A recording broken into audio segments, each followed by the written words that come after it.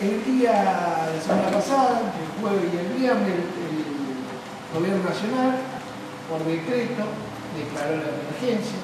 El día viernes, por la tarde, el gobierno provincial adhirió a ese decreto y nosotros adherimos hoy al mismo.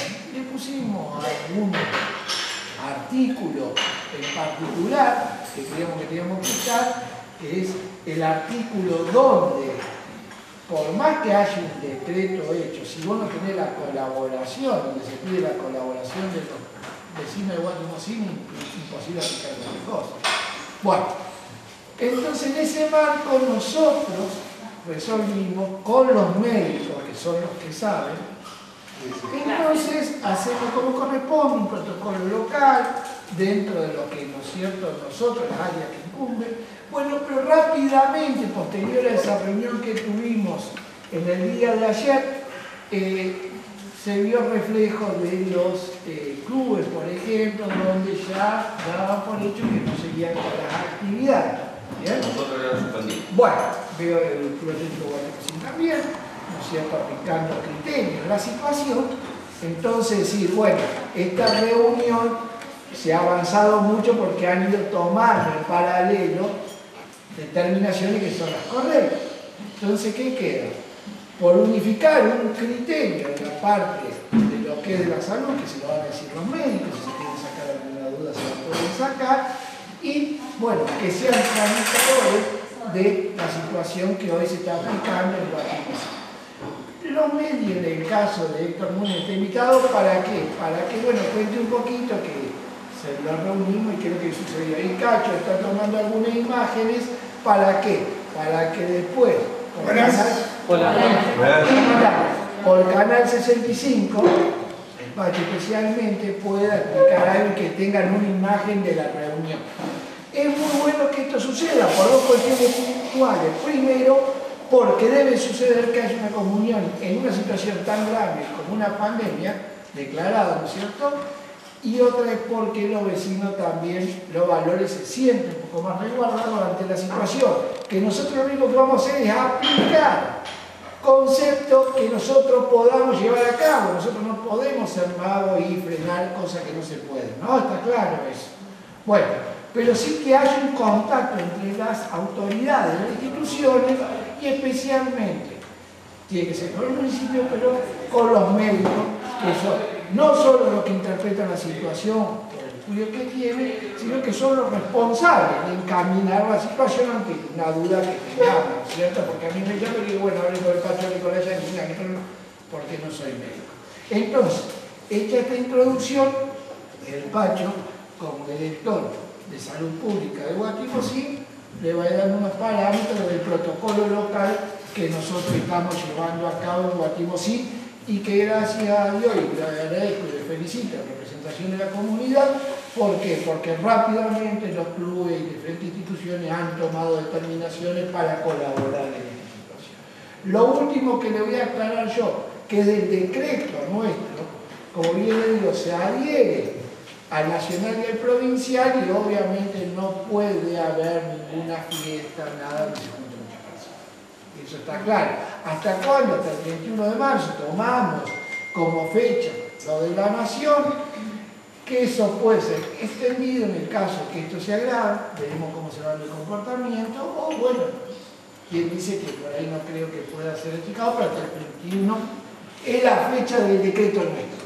Según como vaya, lo vamos a prorrogar y esto se va a ver en los próximos días con novedades que haya del gobierno nacional y provincial. Así que bueno, Pacho, contar un poco vos. Sí, bueno, primero, gracias por venir todos.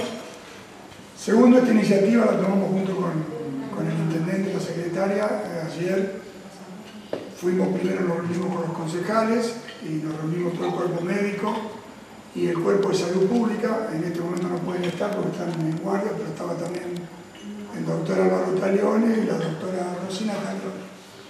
¿Por qué? Porque es importante acá no solamente la salud pública municipal, sino la salud pública provincial.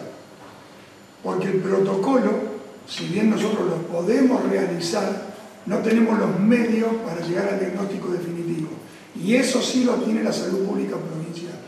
nosotros tenemos que remitirnos a los dos hospitales centrales de cabecera, el de Corral de Busto y el de Marco Juárez, que son los que van a emitir la muestra al Instituto de Epidemiología Central de Córdoba y si las muestras dan negativo para los virus comunes, NHN1, adenovirus, son cinco virus los que hacen, dan negativo esa muestra va al Malbrán y el Malbrán confirma si realmente es el COVID-19 o no.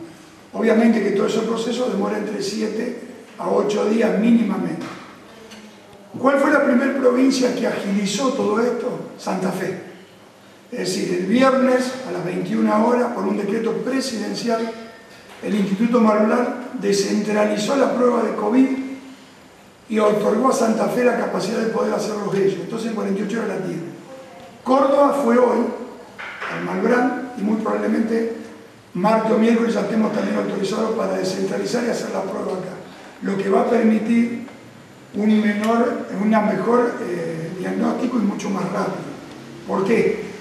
porque el paciente que consideramos sospechoso tiene que estar aislado, pero aislado en cuarentena durante 14 días en una habitación ventilada, ya sea domiciliario si tiene un estado de salud y si no tiene que estar hospitalado. Ejemplo, la borde, están todos convulsionados con la borde. Una chiquita viajó a Holanda a visitar a los padres, llegó, tuvo fiebre, fue al colegio. El colegio hace fiebre, la isla aíslan a ella y todos los contactos que tuvo en el colegio. Va la prueba a Córdoba. Córdoba da todo negativo. La mandaron al Malbrán. En el Malbrán todavía no llegó, pero la chica está asintomática. Es decir, no tuvo más fiebre, no tuvo más tos, no tuvo absolutamente nada. ¿Qué es normalmente la evolución que hacen los coronavirus? Esa es la evolución que hacen en los chicos o en las personas menores de 65 años. Entonces, la chica ya estaría en condiciones de irse a su casa. Pero Epidemiología de Córdoba dio la orden y el comunicado de prensa, nosotros no podemos hablar con nadie si no habla Epidemiología de Córdoba. Grábenselo. Ni docente, ni bombero, ni médico, ni nadie. Es decir, la confirmación o lo negativo de la prueba lo va a dar Epidemiología de Córdoba, el Departamento de Prensa de Epidemiología de Córdoba que es la que está centralizando todo. ¿Qué hicimos nosotros en conjunto? Simplemente a las medidas que ya sabíamos que iban a ser de orden nacional, le agregamos la prevención. Y vuelvo a poner siempre el mismo ejemplo. Si tenemos un precipicio, es más fácil poner una baranda en el precipicio para que la gente no se caiga y no hacer un hospital abajo para que toda la gente que se caiga internarla. Esto es lo mismo. Tomamos precauciones. ¿Cuáles son las precauciones que tomamos? Simplemente nos adherimos a los protocolos nacionales y provinciales, o sea que es intachable. Nadie puede hacer ninguna protesta, ni nadie puede decir nada, porque eso es un decreto nacional y provincial. Específicamente, no hay fiesta privada, no puede haber fiestas públicas, no puede haber conglomerado de gente, tienen que estar todos precavidos, todas las cosas que ya se saben. ¿Qué le agregamos nosotros? Que todo aquel que esté en el territorio nacional y que haya viajado nos notifique a nosotros. Para que eso sea efectivo, hay una forma de redactarlo que tuvo una eficacia, yo le diría, del mil por mil, no del 100%. Y le voy a explicar por qué. Porque cuando le hicieron el comunicado, nosotros pusimos, si está dentro del país, 14 días de cuarentena. ¿Para qué? Para que se comunique con nosotros. Y no logramos solamente los que entraron del resto del país, sino los que todavía no habían salido donde estaban ya me llamaron, específicamente Mar de Plata. Che, yo estoy volviendo mañana, ¿eh? Perfecto. Notificate, vení, decime. ¿Qué hacemos con eso? Chequeamos si tiene síntomas. Si no tiene síntomas, bien claro para todos, bien claro para todos. Desde el punto de vista legal, si no tiene síntomas, el paciente puede deambular igual que todos ustedes. Bien claro el paciente puede deambular igual que todos ustedes. ¿Por qué? Porque si yo a ese paciente lo pongo en cuarentena, legalmente me hace un problema, mí tiene razón. Porque no viene de zona endémica, porque no estuvo en contacto con gente con coronavirus y porque no viene de países donde la, incidencia y la virulencia es alta. Entonces, ¿para qué se hizo ese comunicado? Para que todos sepamos. Entonces ya sé que si ese tipo tiene síntomas, Yo tengo que abrir el ojo porque sé que estuvo en un lugar que puede o no haber estado en contacto.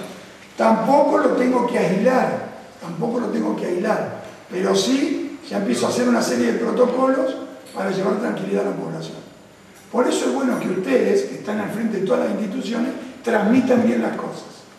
Y a ver si bajamos un poco la, la psicosis que hay. Específicamente, no vamos a dar nombre porque está prohibido y legalmente no se puede. Los del exterior que han venido, a ver si soy claro, los del exterior que han venido, se han reportado, vinieron sin síntomas, no vinieron de zona endémica, pasaron los 16 días y no tienen síntomas. Pueden circular por todos lados. ¿Qué hizo la provincia? Le dio licencia obligatoria de 16 días en los lugares de trabajo. Está perfecto. A pesar de que ya pasaron 16, le dieron 16 más. ¿Está claro? Sí. Está claro, ¿no? Si va a haber caso de coronavirus, sí va a haber. Muy probablemente. Ojalá no lo tengamos ninguno, pero va a haber.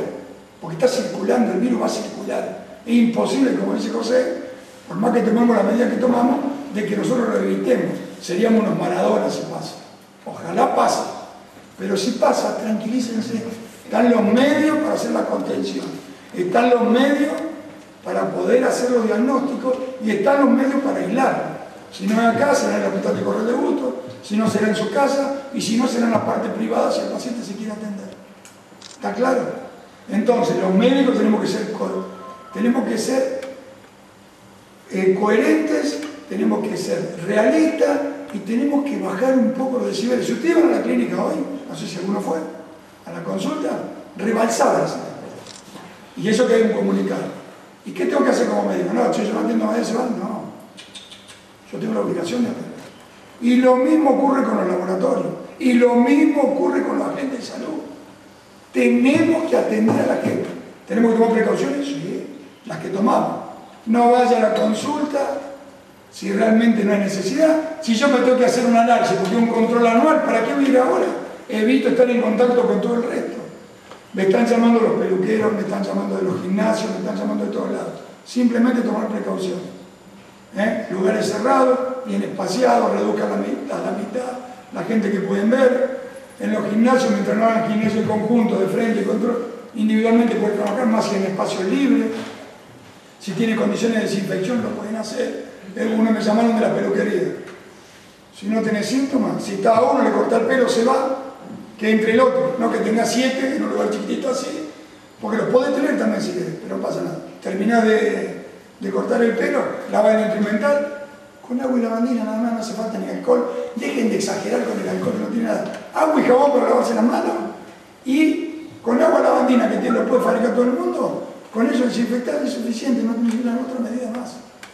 Si el peluque tiene tos, por respeto al que se va a cortar el, el pelo, para preservar el paciente, que se ponga un barbijo. Termina de cortar el pelo, el paciente se va, se saca el barbijo. No está circulando bien en la población.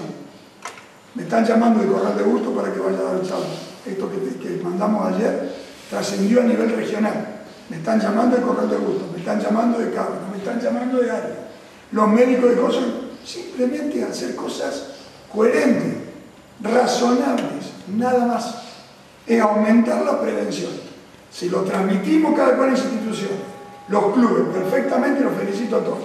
Ayer el Unión Fútbol Club sacó el comunicado, el Guati también. Se terminaron la actividad deportiva. Está perfecto. Está perfecto.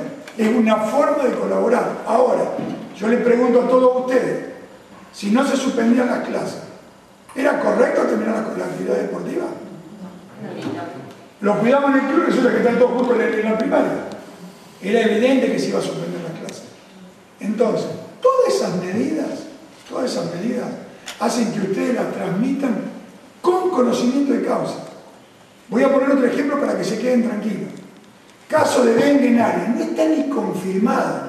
Paciente de 40 años, síndrome febril. La muestra todavía no salió de área, no sé si salió de recién. ¿Por qué? Porque hay conexiones, sobre todo lo que estamos en epidemiología, tenemos contacto directo con la computadora de los casos confirmados.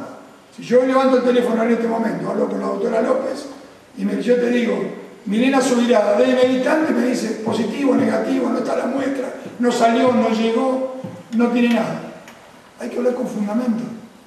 Y después, muchachos, dejen, acá las redes sociales son extraordinarias. Para todas, perdón la expresión, pero la para todas las pelotudeces son extraordinarias. Estoy ahora tirándome un coso en el desodorante en tal lado, en esto está bien, otro. Ahora, nadie chequea que la información que estaba viniendo del coronavirus sea de un organismo oficial. La pasan como vienen. Y le dan como vienen. Y los médicos y todo. Le dan porque gracias a Dios no tengo redes sociales, ni Facebook, ni Twitter, ni Instagram. Gracias a Dios, con el WhatsApp es suficiente para ver las boludeces que están poniendo. En los grupos En los grupos Y te digo que en algunos casos eh, se ve que cortan y pegan el enfrente del ministerio. Entonces vos traes dudas, no sabes si es, si no es. Llámenos a nosotros que nosotros tenemos información oficial. Viene con el enfrente del, del ministerio, entonces vos decís. Tenemos acceso, y esto por dar con fundamento, Analia lo sabe, tenemos acceso, es decir, para que ustedes entiendan.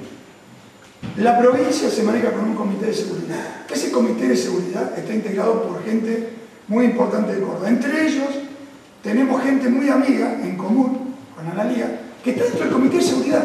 Entonces me lo están pasando en el momento antes que salga en el boletín oficial, ya me están pasando lo que se, lo que se determinó. Y es, eh, es eh, oficial la información, no es que un puede, que a lo mejor, no. Están bajando información oficial y con eso hay que manejarse. Y se terminó. No da lugar a discusión a nada. ¿Estamos? Tienen que transmitir tranquilidad. Va a haber un caso, posiblemente haya. Y puede haber un caso letal, también lo puede hacer, porque tenemos muchas personas de alto riesgo. Yo soy uno, tengo seis tengo. ¿Entendés? Entonces, tranquilamente me lo puedo agarrar. Con ese criterio que tendría que hacer yo. Cerrarme en mi casa por 20 días, cerrar la clínica, y el que está enfermo ir a verlo como puede, muchachos, vayan a otro médico. Yo no atiendo. No, no es así. Legalmente no puedo. Penalmente no puedo. Entonces hay que tomar conciencia de eso. Si transmitimos con seguridad, si hacen las cosas a tiempo, se tomaron todas las medidas, lo hicimos. ¿Qué, puede pasar? ¿Que venga? ¿Puede venir? Sí, puede venir. Puede venir un caso de dengue también. ¿Está claro? Puede venir un caso de dengue. Acá de dengue, tenemos más casos de dengue que de coronavirus en toda la provincia. Es más, tenemos más casos de dengue en la provincia. Triplicado de dengue en la provincia con la cantidad de coronavirus a nivel nacional. 51 casos a nivel nacional y tenemos más de 170 en la, provincia de dengue. Malú 76 casos, Palmiana 60. Está controlado el foco. Está controlado De todas maneras, también con respecto a eso, hemos tomado una decisión a nivel de la municipalidad se va a salir a fumigar, se va a hacer los protocolos, los protocolos el deschatarrerío de los baldíos, el desmalezamiento de los baldíos, todo eso contribuye a que tratemos de evitar la propagación. Es importante que ustedes como las instituciones participen de esto y sean coherentes en bajar la nota. Y sobre todo entre ustedes. Señora directora está en un grupo de WhatsApp, señora directora está en un grupo de WhatsApp, bombero está en un grupo de WhatsApp, el presidente lo está en un grupo de WhatsApp. Cuando le empiecen a mandar pelotudeces, muchachos, filtren eso no es así, o ya te confirmo, espera, me llamás, la llamás Janina, la llamás Milena, la llamás Álvaro, la llamás Rosina, está muy, pero muy, pero muy bien formada. Muy bien formada. Es un adelanto para todos que participen en todo esto. Porque está en la salud pública y como que va a participar también, se le invitó, y va, creo que va a decir que sí porque está haciendo su tiempo, para que participe cuando pasemos el dispensario a la clínica interesantísimo que esté participando en eso porque está muy, pero muy bien formada. Y la he visto en urgencia, la he visto en emergencia y la he visto manejarse en situaciones críticas y hay que sacarse el sombrero. Entonces, señores, quédense tranquilos. Ahora, con esto decimos que vamos a evitar el coronavirus, no, ¿eh? Con eso estamos diciendo que no va a pasar nada, no, ¿eh? Pero que tomamos la medida que corresponde, las tomamos se queje quien se queje, grite quien grite, las cosas son así. Ahora, tranquilidad, tomemos las precauciones, cambiemos los hábitos, lavémonos las manos con agua y jabón, no saludemos de otra manera, codito, colita, taloncito, sea, basta de besos, basta de cosas. ¿Está claro? Esta reunión incluso, le dije al intendente, le a la secretaria, tendría que ser con menos gente. O si es esta gente más espaciada, por ejemplo. ¿Sí? Ahora me va a decir, pero el sábado estaba la sede llena y el otro cosa estaba lleno y allá van a tomar café todo lleno. sí, es verdad. Tomemos las precauciones cuando tomamos café, en no estar tan cerca nada más. Nadie tiene lepra, nadie tiene cíclico porque salgan corriendo, porque no- todavía no está circulando el virus. Pero tomemos las precauciones. Pacho, yo una consulta, creo que lo aclaraste, pero los chicos que están viniendo, Sí, por a ejemplo, Sí. Martín, Romano y Rubén, No tiene nada que ver. eh, No si no tiene síntomas, Pregunta si tiene que. No. Yo le dije No porque no están dentro del protocolo, no. No. Lean el protocolo que es claro. Sí, no, perfecto. Bien. 14, de- dentro de los 14 días contacto con alguien de coronavirus o viaje al exterior en zona endémica, ahora se extendió a otros países más, pero si no es Estados Unidos, Europa en general, Corea del Sur, China y hasta ahora nada más, nada más. Ahora se amplió a dos o tres países más, todavía no está confirmado, pero no está confirmado. Pero de todas maneras, esa gente no tiene que hacer protocolo, no tiene que hacer protocolo. No lo tiene que hacer, lo tiene que notificar. Exacto. Exacto, lo que llegaron de Bariloche llamaron anoche mismo. ¿Qué tengo que hacer? Nada. Hoy me llamaron la niñera, vino, estuvo contando, no tiene nada que ver, por favor, no, no. A, No, nivel, a nivel comercial lo que hicimos en cambio se suspendió el mate. Perfecto. Extraordinariamente bien. Y bueno, se, y se redujo el saludo como dice. Está muy bien. Porque bueno, viene en el negocio mío más o menos dos o tres viajantes diarios y bueno, que andan en la zona. Está bien. Y hoy cayó uno de Villa María y hay un caso también en Villa María. Sí. Entonces bueno, por ahí no sabes si... A eso agregale con agua y lavandina, reduce un litro de agua, también 0,5 de lavandina o 20 centímetros de lavandina. Limpias la manija, viste que se apoya en el mostrador, en el mostrador. Limpia eso. Hacelo cuando hay mucha gente para que la gente vea que tomas precauciones, nada más. Porque la gente una cosa, si lo ve no lo ve. Estuve Rubén, vos sabés quién, entró uno de Villa María, que encima contó que había un caso de coronavirus, ni limpiaron el coche. El Rubén ya tiene coronavirus. Es así, es así. Y dos, no solamente que te lo dice, ya va a las redes sociales, vos sabés que este, porque esa es la condena más difícil que van a tener. ¿eh?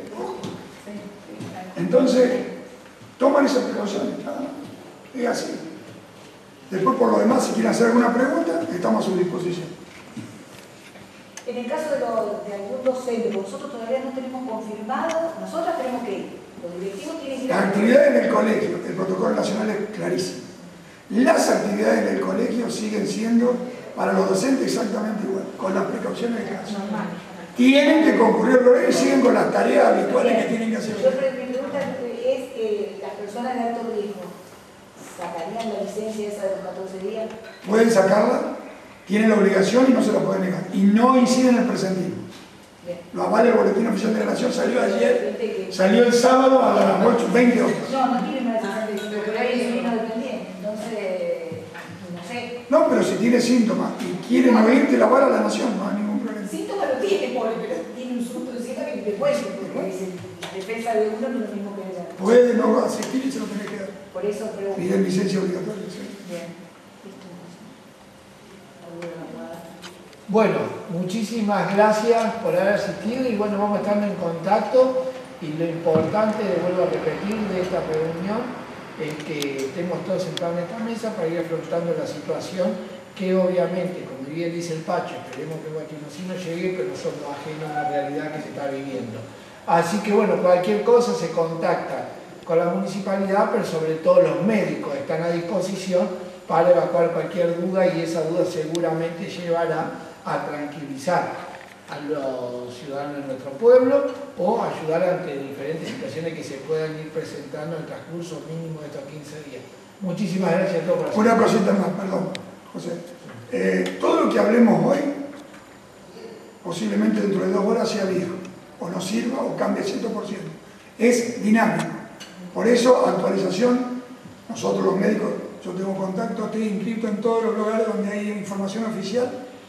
La mayoría de los médicos tendríamos que hacer lo mismo, pero puede que hoy digamos una cosa y dentro de una hora sea otra. Así que no es porque se dijo mal, sino porque van cambiando. La información es permanente, es permanente. ¿Estamos?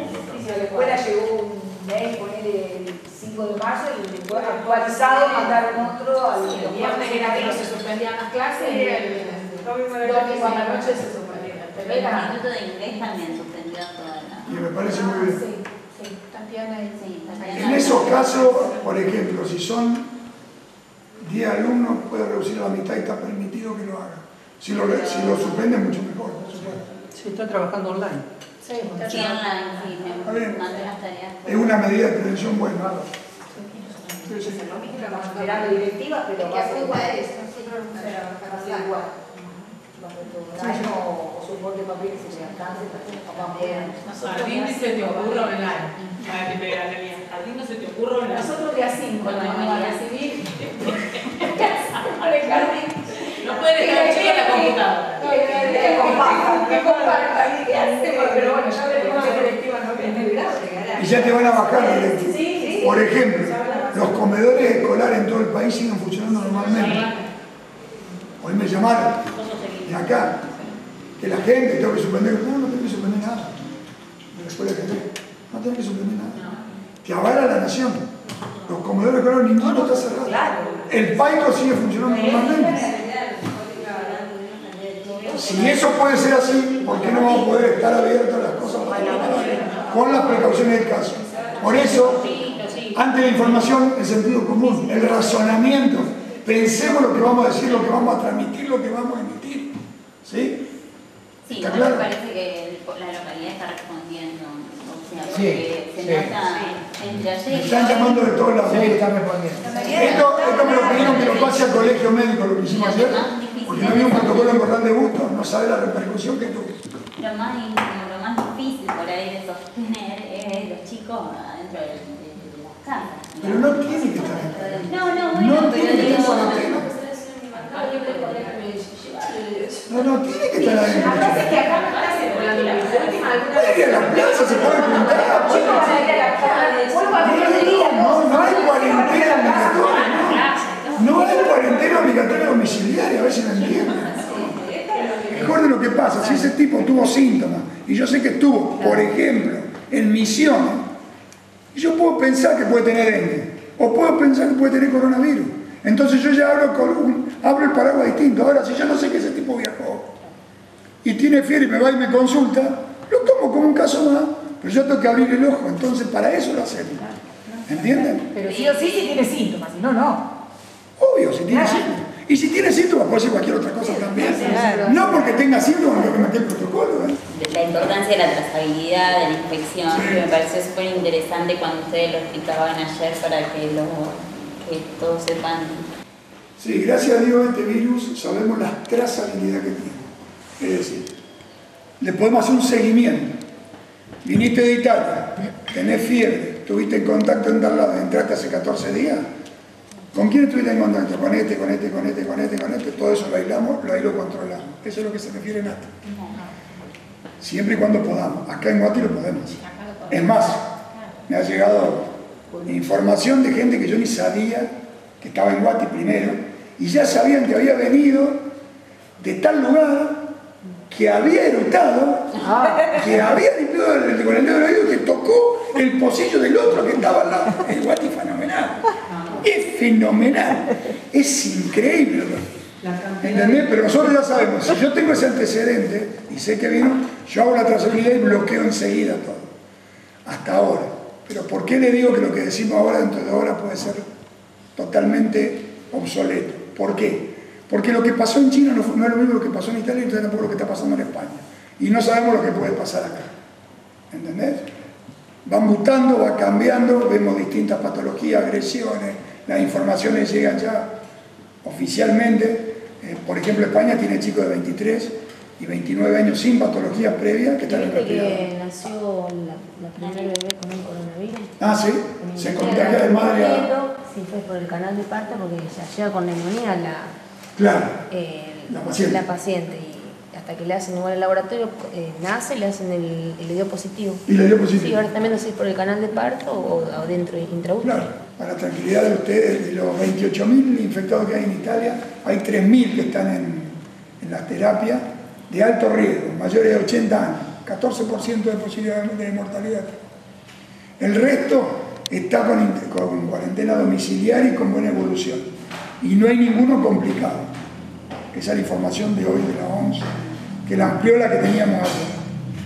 Y para que tengan una dimensión, hay 162.000, hoy la última cifra reciente, ¿no? 162.000 casos en todo el mundo y no llega a 5.700 la cantidad de muertos en todo el mundo. Menos del 1%, mucho menos que una influenza como uno o cualquier gripe. ¿Qué estoy diciendo con esto? ¿Que un virus que no pasa nada? No, no. Eh, Es un virus que hay que tenerlo en cuenta, es una cepa nueva, no sabemos el comportamiento. Y hoy salió, recién habló el laboratorio de Israel, me salió, me llegó una notificación recién, la vacuna con mucha suerte que se calculaba en tres meses, un año. Un año. Sí. No antes de ese tiempo porque no da nada.